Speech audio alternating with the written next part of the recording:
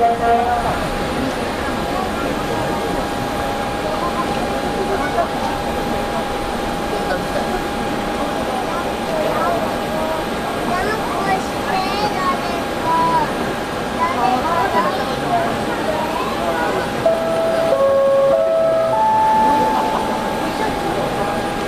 日本航空よりご案内いたします。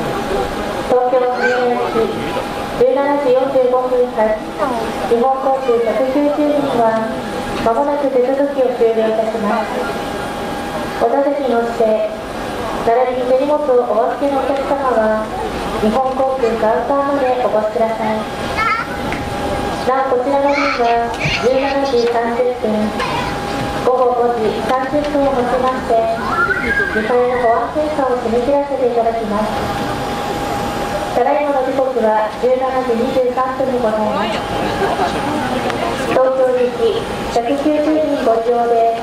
まだ道路以内にいらっしゃいます。お客様はお早めに時間保安検査をお済ませになり搭乗口1番へとお進みください